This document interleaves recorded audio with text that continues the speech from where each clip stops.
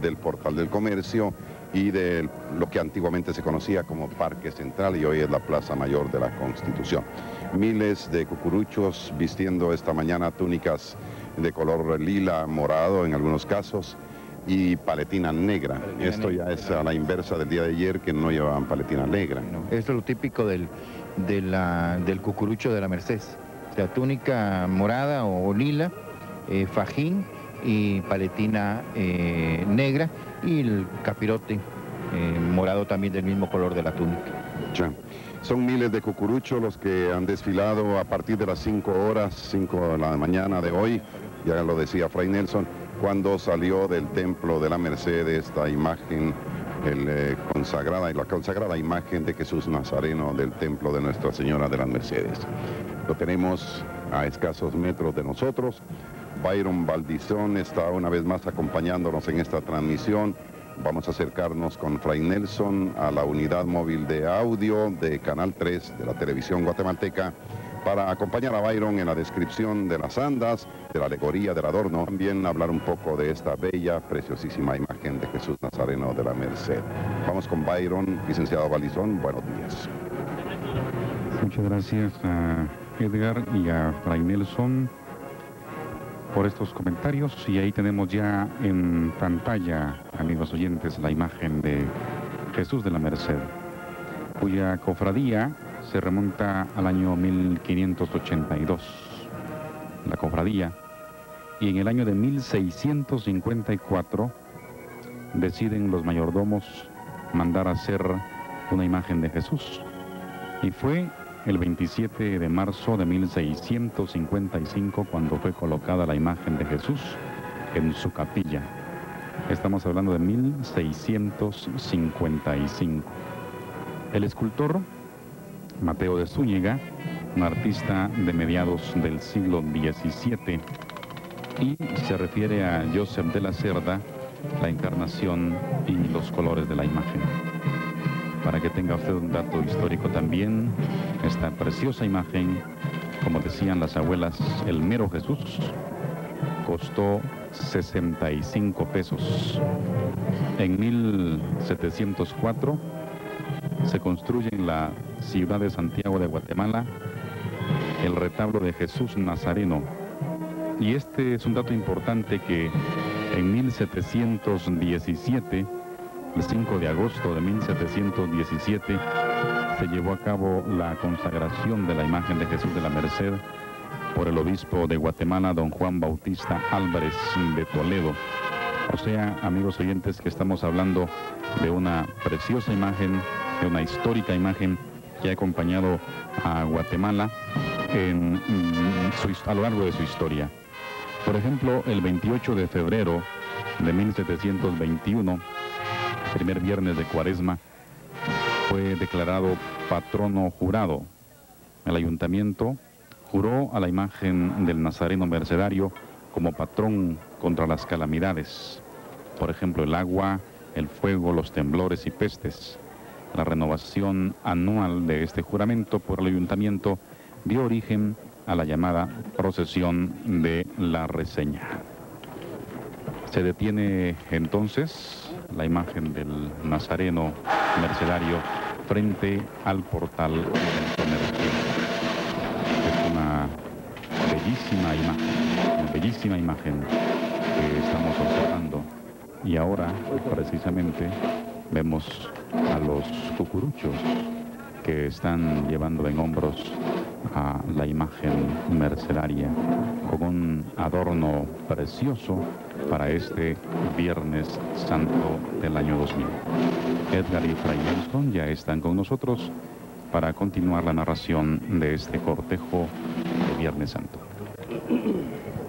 Y continuamos con nuestra transmisión. Tenemos eh, frente a nosotros la imagen consagrada de Jesús Nazareno de la Merced. Eh, una vellanda, eh, son 20 columnas eh, que significan los 20 siglos, con 20 cinturiones y cada centuria son 100 años, tanto en la parte frontal del anda como en la parte de atrás va el emblema del jubileo del año 2000.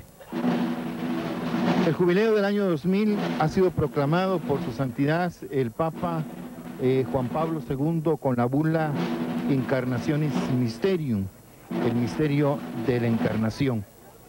Se inició el 24, el jubileo se inició el 24 de diciembre del año de 1999, el año pasado, con la apertura de la Puerta Santa en la Basílica de San Pedro, eh, un martillazo dado eh, por el sumo pontífice, por su santidad el Papa Juan Pablo II, se abre después de 1975, 25 años después se abre la puerta eh, que inaugura el, el año jubilar, este año tan especial al celebrar los 2000 años del nacimiento de nuestro Señor Jesucristo. En latín tenemos frente a nosotros jubileo año 2000, Cristo ayer, hoy y siempre, y las eh, cinco palomas eh, con diferentes colores que significan los cinco continentes, un fondo azul que significa el orbe terrestre. Conforme las andas van acercándose hasta donde se encuentra nuestro centro de operaciones, eh, podemos admirar realmente la belleza inmensa, incalificable de lo que es eh, eh, lo que son las andas que portan al Señor Nazareno, este dulce Señor Nazareno del Templo de la Merced. Y a propósito de ello, tenemos una oración a la que le han denominado valiente, que nos parece es hermosa. Yo le agradezco a Byron que nos haya permitido a nosotros darle lectura. Dice, Señor, danos tu fuerza. Danos el empuje de la iniciativa y el coraje de la disciplina. Más amor, Señor. Más autenticidad. El valor de hacer y de hacer sin temores. Más coherencia, Señor. Más impulso. El valor de continuar y el ánimo de siempre renovarse más generosidad, Señor, más comprensión, el valor de saber estar a solas y el de saber recomenzar. Más sinceridad, Señor, más amistad. El valor de no irritarnos, de mantenernos siempre dueños de nosotros mismos. Más delicadeza, Señor, más caridad el valor de encontrar siempre un poco de tiempo para meditar y orar. Más fe, Señor, más luz, con la mirada siempre en la justicia y en la bondad. Uno de los principales objetivos de estas transmisiones es poder llegar hasta las personas eh, más necesitadas espiritual y materialmente que no pueden acompañarnos en estas celebraciones. Yo quiero eh, invitar para que todos clavemos nuestra mirada en esa dulce mirada de Jesús Nazareno de la Merced, para que Él sea el que dé consuelo al enfermo, al afligido, al necesitado, a la madre abandonada, a los eh, maltratados por los padres, muchas veces con esa eh, endémica situación de violencia familiar. A todos los que tengan necesidad, que claven su mirada en el rostro dulce de Jesús Nazareno de la Merced. Nos quedamos con esta bella marcha.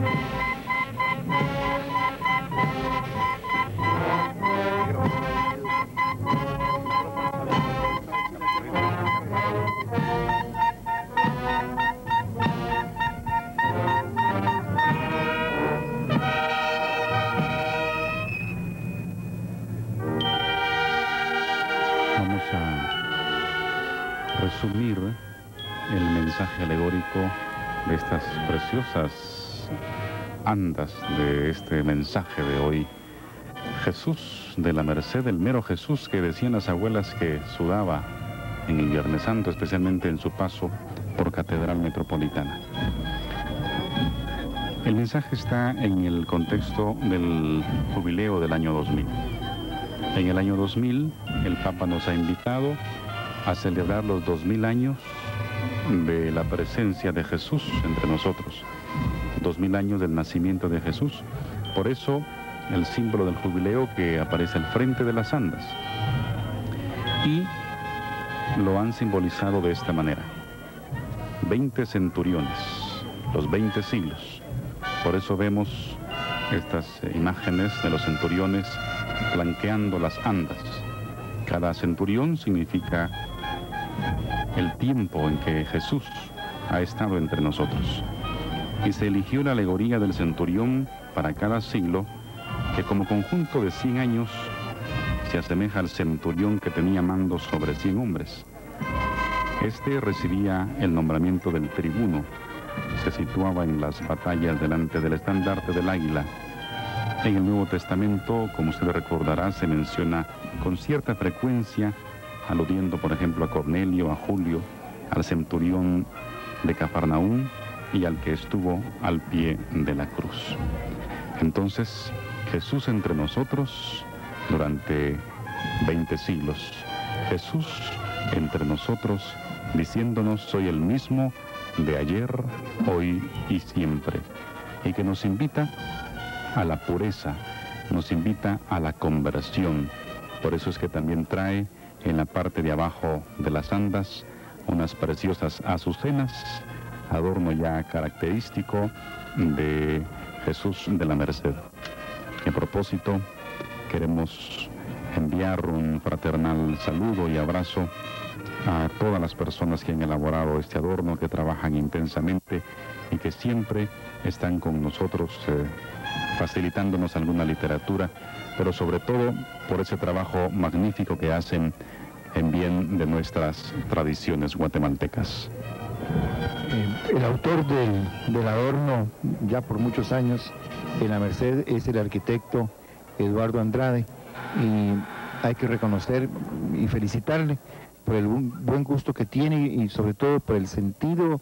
Eh, yo recuerdo cuando en el año 84 eh, él y Carlos Díaz eh, Maza prepararon el anda de la Santísima Virgen del Rosario. Lo hacen y lo hace Eduardo con muchísima devoción.